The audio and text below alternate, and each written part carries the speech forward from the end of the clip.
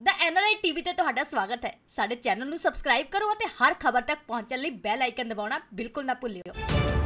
ਟੀਸੀ ਦੇ ਪੀਏ ਬਣ ਕੇ ਲੋਕਾਂ ਨੂੰ ਡਰਾਉਣ ਵਾਲਾ ਤਰਨਜੀਤ ਸਿੰਘ, ਅੱਜ ਪੁਲਿਸ ਦੇ ਸੀਆਈਏ ਸਟਾਫ ਵੱਲੋਂ ਰੰਗੇ ਹੱਥੀ ਫੜਿਆ ਗਿਆ ਹੈ।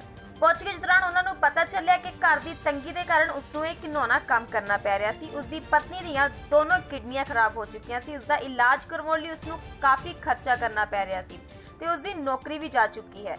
ਸਭ ਤੋਂ ਪਹਿਲਾਂ ਉਸਨੇ ਟਰੂ ਕਾਲਰ ਤੋਂ ਬਦਲ-ਬਦਲ ਕੇ ਲੋਕਾਂ ਨੂੰ ਡਰਾਉਣ ਦਾ ਕੰਮ ਸ਼ੁਰੂ ਕੀਤਾ, ਕਿਉਂਕਿ ਲਗਾਤਾਰ ਪਤਨੀ ਦੀ ਡਾਇਲਸਿਸ ਕਰਵਾਉਣ ਲਈ ਹਰ ਹਫ਼ਤੇ ਉਸ ਨੂੰ 6000 ਦਾ ਖਰਚਾ ਕਰਨਾ ਪੈਂਦਾ ਸੀ ਅਤੇ ਉਸ ਦੀ ਕੁੜੀ ਦਾ ਵੀ 6 ਮਹੀਨਿਆਂ ਤੋਂ ਸਕੂਲ ਦੇ ਵਿੱਚੋਂ ਨਾਮ ਕੱਟਿਆ ਗਿਆ ਸੀ। ਉਸ ਤੇ ਡੀਸੀ ਨੇ ਪੁਲਿਸ ਨੂੰ ਸਾਰੀ ਗੱਲ ਦੱਸੀ, ਇਹ ਗੱਲ ਪਤਾ ਲੱਗੀ ਤਾਂ ਦੋਨਾਂ ਨੇ ਸੋਚਿਆ ਕਿ ਘਰ ਦੀ ਤੰਗੀ ਕਾਰਨ ਅਸੀਂ ਇਸ ਨੂੰ ਛੱਡ ਰਹੇ ਹਾਂ, ਪਰ ਇਹ ਇੱਕ ਗੁਨਾਹ ਹੈ। ਜਿਹੜੇ ਜਿਹੜੇ ਤੱਥ ਇਹਨੇ ਦੱਸੇ, ਉਹ ਸਾਰੇ ਵੈਰੀਫਾਈ ਹੋਏ। ਉਹਨਾਂ ਤੱਥਾਂ ਦੇ ਆਧਾਰ ਤੇ ਡੀਸੀ ਸਾਹਿਬ ਨੇ ਇਸ ਬੰਦੇ ਦੇ ਲਿਖਤੀ ਮਾਫੀਨਾਮੇ ਤੋਂ ਬਾਅਦ। ਕਿਉਂਕਿ ਅ, ਸਾਡੇ ਡੀਸੀ ਸਾਹਿਬ ਦਾ ਤੇ ਸਾਡੇ ਸੀਪੀ ਸਾਹਿਬ ਦਾ ਮੰਨਣਾ ਹੈ ਕਿ ਕ੍ਰਾਈਮ ਨਾਲੋਂ ਜ਼ਿਆਦਾ ਕ੍ਰਿਮੀਨਲ ਨਾਲੋਂ ਜ਼ਿਆਦਾ ਕ੍ਰਾਈਮ ਨੂੰ ਖਤਮ ਕਰਨ ਦੀ ਜ਼ਰੂਰਤ ਹੈ। ਇਸ ਕਰਕੇ ਉਹਨਾਂ ਨੇ ਇਸ ਬੰਦੇ ਨੂੰ ਮਾਫੀ ਦਿੰਦੇ ਹੋਏ ਇਹਨੂੰ ਇੱਕ ਸੁਧਰਨ ਦਾ ਇੱਕ ਮੌਕਾ ਦਿੱਤਾ ਹੈ।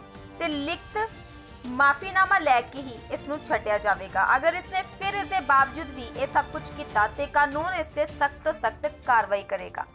ਬਿਊਰੋ ਰਿਪੋਰਟ ਦੀ ਐਨਆਰਆਈ ਟੀਵੀ।